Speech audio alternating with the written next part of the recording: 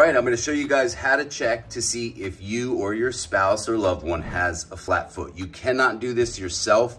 You need somebody to help you. First, you need somebody with a middle finger. No, I'm not giving you the bird. I like to use my middle finger. It's the perfect size. So see this little line right here? That's the distal end of my joint, my finger joint, the dip joint, distal interphalangeal.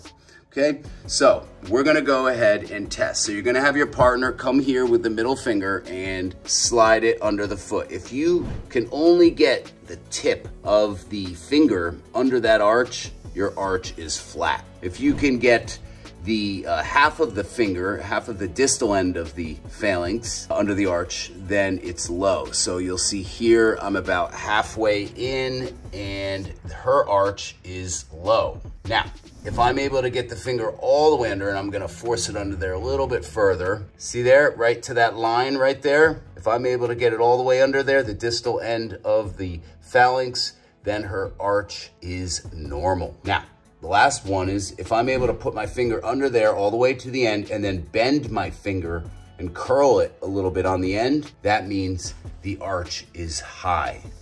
Now, it's important to have the patient in a loaded neutral position while you're documenting and checking this. I hope this helps. And if you do have flat feet, make sure you check out our other video on how to fix flat feet or plantar fasciitis. Thanks for tubing in.